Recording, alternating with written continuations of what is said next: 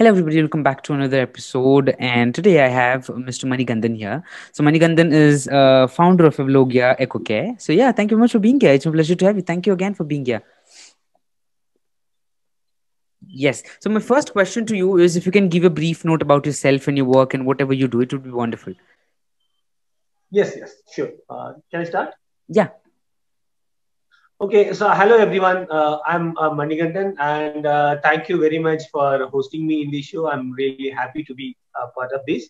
Uh, basically, by qualification, I'm an engineer. I worked for about 20 years for different multinationals in senior positions, and I lived outside India as part of a corporate career. And in about 2016, I mm-hmm. decided to kind of leave my uh, job and then became an entrepreneur and uh, basically i'm from agricultural family. So okay. i wanted to do a startup that is related to agriculture. And i believe uh, science and uh, the intervention of science in agriculture should be utilized. And then startups should really focus on that to solve bigger problems actually. So that's a brief about me. And uh, uh, my the current startup Evlogia EcoCare. Okay, so Evlogia EcoCare is a Bangalore-based startup making eco-friendly cutlery to replace single-use plastic and our aim is to make our products from locally available agricultural waste. And we want to produce in india uh, as much as possible involving the women workforce and export all over the world. Our first product is uh, organic single use drinking straws uh, which are patented.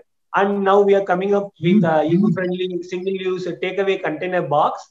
And we are doing research in making a cup all from agricultural waste. So that's about the company Okay, okay. So, how did this idea of uh, Evlogia began? Began? How did you get this mind and using dry uh, coconut leaves yes. and make straw? And how did this all happen? Uh, my first, yeah, my first startup is uh, Tenco Foods Private Limited. So we were supplying tender coconuts, actually the farm fresh tender coconuts to houses and uh, to retail markets and everywhere. And when we supply tender coconuts, people also ask straws uh, to sip the juice and we didn't want use of plastic but uh, we tried paper. Paper had its own share of problems. Then we were looking for a, a straw that can uh, kind of solve the problem. And then anyway we were doing coconut. So why don't we make straws also out of uh, coconut? So that's how we kind of uh, uh, started making straws out of coconut leaves. And then uh, that worked out very well. And then it became a separate company. And we also when we did straws from our customers from the market from the market we got a very good feedback that there are many many products that are possible to be made in india especially uh, when the plastic pollution is kind of getting a global attention. We have enormous amount of agricultural waste that can be used as a raw material and converted to wealth. So we decided to take it as a startup and then make a range of products so that's how the idea and the journey began. Okay. And uh, like, what were the kind of problems you saw before starting? You know, you of course you you said we wanted to, um, you know, we were selling tender coconuts, and we saw this problem of plastic. So, but how did you get this idea that you can use dry uh, coconut leaves and make straws? How this? How did uh, this? How much time did it take to you to you know research on it and create straws and all those things? Yeah, so basically, uh, when we try to do, uh, when we decided to do uh, straws, we started looking uh, organic straws that were available all over the world. Of course, uh, there were other straws available, like bamboo straws were available, and edible straws were available, hay straws that were available. And we tried each one of them, in everything had their own problems. So, mostly bamboo and uh, hay straws, they already come in a tubular form, actually. So they come with a fixed size. Bamboo straws are very big in size, so cost wise very high and we also wanted to uh, make the straw with the uh, with the raw material that is available locally and also in abundant actually so that's how we thought of uh, i mean kind of uh, using the coconut leaves also because uh, uh, coconut leaves are very long. So it can be a kind of rolled to form a straw. So it kind of worked perfectly. And so that's how it, and we also noticed already there were people using these areca leaves for making plates and uh, uh, coconut banana fiber is used to make even fabric. So there are a lot of work going on by different entrepreneurs and different people all over uh, the uh, world actually. So so basically it's a very very growing and encouraging uh, environment right now especially in india. I am seeing uh, many people are do, trying many different things actually. So it's really a welcome move. I'm okay. really proud to be okay. And uh, why why did you why do you think like you said you you had a very good corporate career. You were working in a corporate you know world doing your software engineering job. Then why did you leave that job and why did you get into you know being an entrepreneur starting your own company selling tender coconuts and then starting making you know sustainable uh, coconut leaves yes. uh, straws? How, why did you do that transition in your life so basically, yeah, while I was a software engineer, I was hardcore uh, technology guy. Okay, so for, after working for 20 years, it was really nice. I mean, I, uh, even filed a couple of patents uh, related to uh, uh, technology and other things. But at some point, uh, kind of, there was a push. As I told, I'm basically from agricultural family, and there was this intention of getting into entrepreneurship. And I also noticed the startup ecosystem, especially in and around Bangalore, actually, is was really growing well and it was a calculated risk. And uh, yeah, so when I, I, I decided to do a startup, then the obvious choice was doing a tech startup. Uh, but there were almost that's a, natural choice and natural um, kind of path that every technology entrepreneur will take. I wanted to be different, and then when I was looking around, then I saw this whole uh, issue of sustainability, uh, green drive, everything was growing, and then India was really in a, a fantastic spot to kind of uh, lead the world uh, with all the uh, raw material, labor, everything is available. So why don't you try uh, something different? Of course, it's a calculated risk and it's a still a risk, and I hope uh, it will it'll end up well actually. Yeah. Okay, okay, and and uh, what kind of problems did you see when while starting? Like, what kind of things did come in your way, and what were the problems? yeah the problem is uh, the, the number one is this uh, course when you do a startup uh, especially ours is a product actually so right? So when you want to make a product and sell uh, you really have to have a minimum uh, viable product actually and also a market traction before you can really decide what kind of financials you need before you can really take external funding and all those things. So until then uh, we have to kind of to be on our own. And uh, this product being new, uh, the acceptance is something that we will have to really prove in the market by supplying and then getting the uh, feedback from the customers, actually, right? And uh, uh, being a new product, yes, it, it will always have unexpected quality issues, quantity issues, production issues, and all those things. Unless we really get into production and then start doing it, we will not know. So it's kind of this is a, completely making a new product is kind of swimming you really have to jump into the water and then swim before you know uh, what is uh, ahead of you actually right? So yeah. that that kind of needs uh, some perseverance and some really uh, proper planning especially from finances and from the support system. Okay. And the second problem we, we, we face is the uh, price actually. So this being mm-hmm. completely organic product and definitely the cost of uh, the straw is much higher when compared to plastic or even paper straws uh, so people always they tend to compare against the cheapest available, uh, commonly available uh, substitute, which is plastic still actually, right? So that price we need to kind of convince customers why they have to pay a premium, what is the benefit for themselves and for also for the environment. So that is really quite a challenge, especially uh, very cost sensitive markets like India okay. And and where, where do you see yourself as a company in the future? You know uh, this market of uh, sustainability these products which are there uh, you know working which which has no side effects on the environment and is biodegradable and which has no effects. So where do you see this market going? Where where it can reach in next 5 years or 10 years this this market will grow big time. That is definitely for sure, and I'm very sure there will be many many more players coming actually, and I'm very sure India will be leading uh, the, the the fight against the plastic, just because uh, the vast amount of labor force, raw material, and also the production capacity available. Actually. Um, and uh, I'm thinking uh, now most of the markets like Europe and America, they have started, uh, I mean, switching the consumption pattern actually. So they are very, very uh, focused and very conscious about replacing plastic. And uh, the thing is, they don't have that much of uh, manufacturing capability, though they are ready to switch. But yeah. they'll expect countries like India kind of uh, to support them uh, in the journey. So uh, that way, the growing countries, uh, all countries in South Asia and Southeast Asia, will have a very big role, including India, in supporting this fight against plastic. So that way, the the market is expected to grow exponentially, and I'm thinking many more players, especially big corporates also will jump in soon uh, in this sustainability business. Okay. Okay. And as a company, how do you think you stand out from the crowd? Like, what's different? Yeah. So for, for us, actually, I mean, I don't see, I, I see the, the, this fight against sustainability. I don't, uh, uh, what I feel is it uh, I should not see it as a competition because the, the requirement is huge, the market is vast. So definitely one player or one company uh, cannot solve the problem, and it's not possible also. So it should be a cooperative way actually. So all the startups, all the companies, all, all the players who are involved, they should come together because the problem is uh, so big actually, and the requirement is so big. So that way, I'm, uh, there are two things that we are planning to do. One is yes, we are coming up with a range of products, starting with straws, as I told, takeaway container boxes, and next is uh, making cups, and then we will continue uh, in a single-use cutlery. So that is one one part of our business that will be keep on growing new new products and the existing products, increasing the productivity, increasing the reach, export to many more countries. So that is one part. Uh, the second part uh, we want to do is uh, tie up with all uh, companies actually. So that will be a, services mode.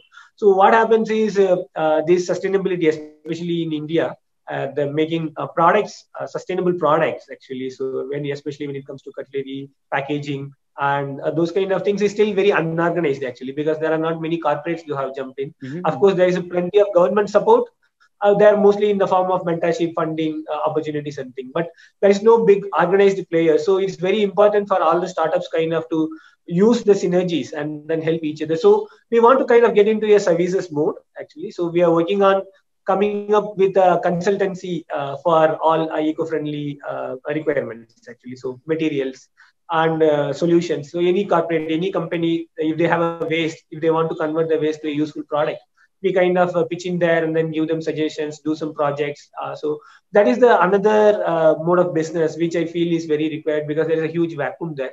And there are plenty of people interested in both doing and then also there are a lot of customers who want to switch and then consumption. So there is a demand and there is a market and there is availability. It's, it's a gap of uh, i mean kind of organizing it and then converting them to a, a channelized solutions so we want to get into the getting there uh, to kind of uh, to work with many startups in, in the services mode and in the cooperative okay okay.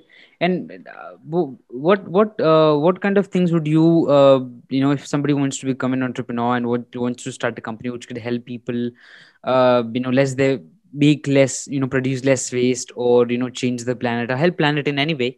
So what would be your um, you know advice to them? What you wish that they try to do uh, what kind of ideas should they have what kind of things should they work on as per your experience?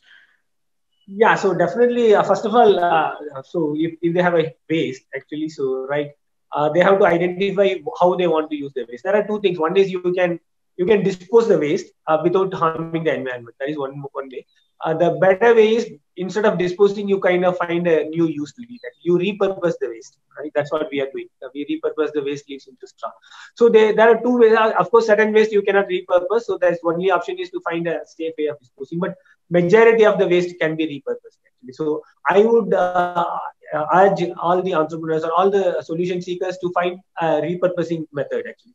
And when you repurpose, you can make a vast amount of things. So one thing is uh, the most important thing is technically there are so many things possible actually. Every waste can be repurposed, but it has to make an economic sense for it to kind of sustain. Hmm. Uh, because if we, if we repurpose and then the repurposed product is of very high cost, definitely it's not going to sustain it's not going to yeah. uh, there for a long time so find if you can repurpose it in an economic way such a way that it can make a sustainable business actually right and once you have uh, identified that kind of a solution then definitely they should uh, kind of uh, get a formal entity they should there are a lot of uh, networks that are available actually so there are plenty of uh, groups there are plenty of uh, there are even UN supported uh, the UNDP is there. There are UN supported institutions. There are plenty of institutions, uh, so they can definitely none of them charge anything actually. So they all do it as a free service, and they provide a fantastic support, mentorship, detailed feedback.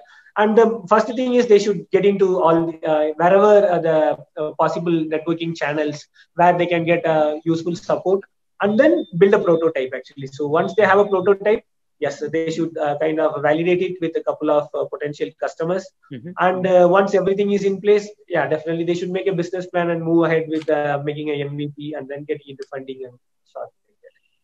Okay, okay, and uh, you you all uh, focused on one thing. You said uh, that we uh, you know give labor more to women's yeah? Yes. so how does that work? Uh, do you give like how do you you give them uh, labor and how do you how they work? Do you uh, you know give them training and make them understand how things are gone and how things all work for them over there?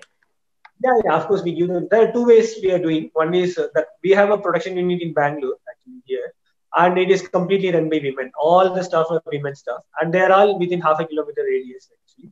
Okay, and uh, uh, uh, they all are very happy working with us. In fact, we allow them to even bring the kids at times, and they can go for lunch. We have birthday parties, and these are all very new, especially for, of course, in corporate uh, lifestyle. These are common, but these uh, women actually so they're coming from a very humble and local background they're very very happy working with us and yes we give them training. And uh, ours is uh, uh, not very complicated. We use of course some semi-automated machinery.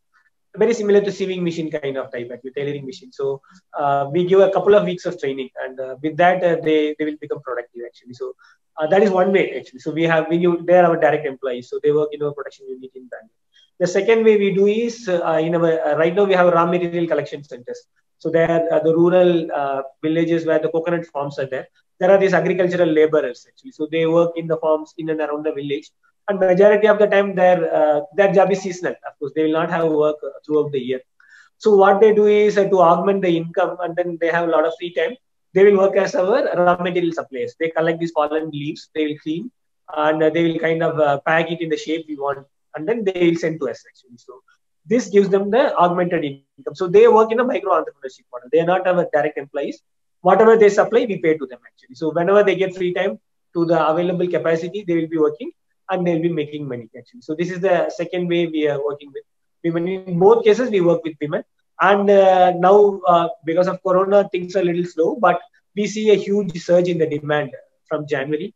So okay. uh, the many of our raw material collection centers, we want to kind of uh, take them to the next level. So they will also do uh, the uh, straws. They will also start making the straws. So uh, in a couple of places, we have already given them the training, and but we will go and then give them uh, more training. We will give them our machinery, and they will do the straws and we will buy back. So we'll have a buyback agreement with them, and uh, and instead of just supplying raw material, they will also convert them into straws and they will supply.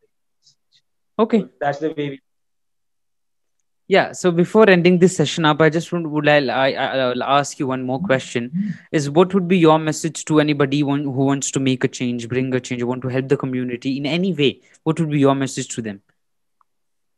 Yeah so the number one is you can do change at two levels. One is your personal capacity. So the change starts with the self actually. So the change can be anything not just in sustainability even uh, in following traffic signals or anything actually. So whatever the change you want first you be the change. I think that everybody know it. And uh, the second thing is uh, um, making a change, uh, making it as a habit is always easier actually, rather than uh, trying to do it uh, very focused. From the beginning, you make it as a habit. It is very easy. Mm-hmm. And I should say, the time right now actually is, is really, really very resourceful. Especially if you are an entrepreneur and you are uh, you are uh, innovator. You want to bring a change be it sustainability be it electric mobility anything actually which is uh, which is good for environment which is good for the uh, global cause. There is plenty of uh, support system available uh, from the karnataka state government from the indian government from the un and from many uh, governments and also the non-government uh, institutions which are self-motivated actually. So there is plenty of uh, uh, uh resources available plenty of support is available actually. So and uh, and it's really a best time for anybody to get into the change maker actually. So please join the proper forums which are related to your problem which are related to your sector and then seek help from wherever possible. Yes and then start your journey. You will succeed Okay, so yeah, thank you very much for being here. It was wonderful having you, and uh, wonderful, wonderful, uh, and wish you a lot of uh, success and uh, best of luck for the coming days because you know we are between a pandemic and things are very hard. I know for everyone, but things are going to get better and better, and uh, the world is going to change. The world is going to be different after 2020. So yeah, thank you very much for being here. It was my pleasure to have you. Thank you, Lakshit. Thank you for hosting. Thank you very much. Bye. My pleasure. Bye bye.